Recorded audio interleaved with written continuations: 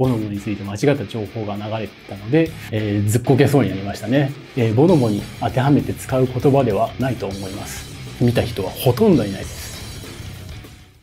ボノボの研究をしている横山拓正です。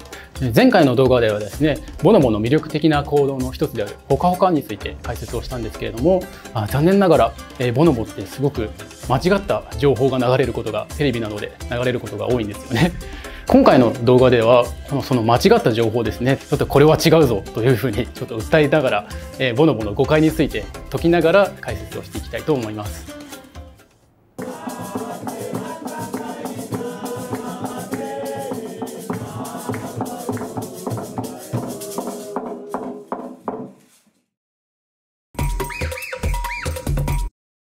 はい、こちらが前回の動画でも説明を少ししたんですけども、ボノボのほかほかですね。まあ一見すると性的な交渉にも見える行為なんですけれども、実際には研究で分かったことは、まあ、性的な行為、交渉であるというよりかはむしろ挨拶行動のような社会的な交渉であると言われています、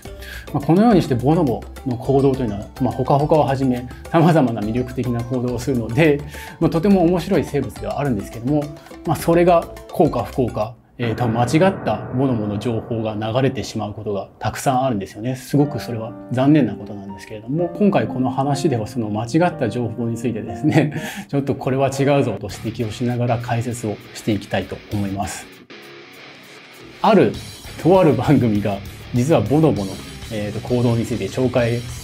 する番組があったんですね。実はこの番組に私自身オファーがあったんですね。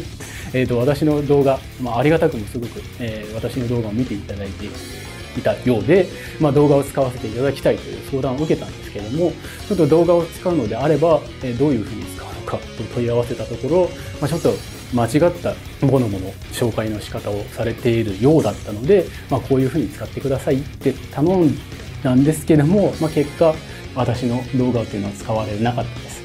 でこの動画を蓋を開けて見てみるとボノボについて間違った情報が流れていたのでここが間違っていると指摘しながら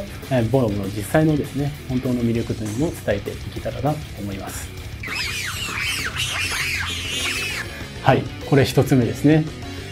えーと、そのとある番組にはですね解説者がいたんですけれども、えー、その方が、えー、昔はピグミチンパンジーなんて言われ方をしていたんですけども現地の言葉でボノボみたいなという発言をしたんですね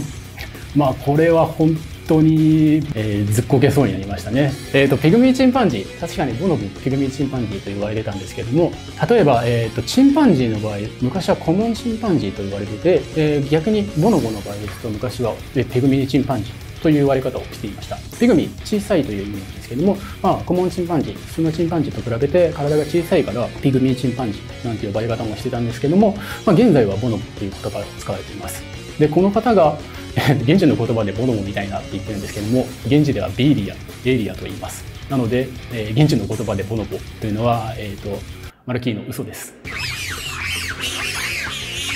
ちらが、え、次のコメントですねさっきの方とは別の解説者が話してたんですけどもその方が、え、最近の論文だとレズビアンセックスの最中にあボノボのですねボノボのレズビアンセックスの最中にこれほかほかのことを指してるんですけどもの最中にアイコンタクトの時間が長くてそれで共存する仲間として認めることでオスよりもメスがコミュニティの立場が強くなるとおっしゃってたんですけども、まあ、この方のコメントは論文をしっかり読んでいるんだなという思いました。え実際に、えーと、ほかほかするときにアイコンタクトですね。互いの、えー、目を見つめ合う時があるんですけども、えー、この、えー、解説者の、え指摘する論文というのは、まあ、親密なペアでするよりも、まあ、親密でないペアでした時のアイコンタクトの時間が長くなるという論文ですね。実際に、えこれがその論文なんですけども親密でないペアがほかほかする時のアイコンタクトの時間が長くなる。まあ、それはその親密でないえ個体同士っていうのは、まあ、より絆を深めるためにアイコンタクト長くして、えー、ほかほかをしているんだよという解説の論文ですね。ただちょっと注意をしていただきたいのが、まあ、本当に言葉狩りのようで申し訳ないんですけれどもレズビアンセックスという表現の仕方というのはやはりちょっと私は納得できないなと思っていてですね。前回の動画でも話したようにボノボのほかほかというのは性的な交渉というよりもむしろ社会的な交渉と言われているのでこれをレズビアンセックスと表現すること自体ちょっと表現として間違っているのではないかなと私は思います。レズビアンも、えー、ボノボに当てはめて使う言葉ではないと思います。例えばボノボの中にレズビアンの個体がいるかといったらこれはいないと思います、えー、ほかほかをする個体はもちろん交尾にします。なのでレズビアンという言葉をボノボに当てはめて使う。またはほかほかをレズビアンセックスという言葉で表現することは間違っているのではないかなと思います。はい。こちらが次のコメントについてですね、えー、先ほどボノボのほかほかですねメス同士の社会的性的交渉についてさまざまな誤解があるという話をしたんですけれどもボノボのオス同士のですね同性間性的交渉についても間違った解釈をされることがあります。ボノボのオス同士もペニスフェンシングと呼ばれる、えっと、同性間性的交渉を行うと言われているんですけれども実はこちらのペニスフェンシング、まあ、とても、まあ、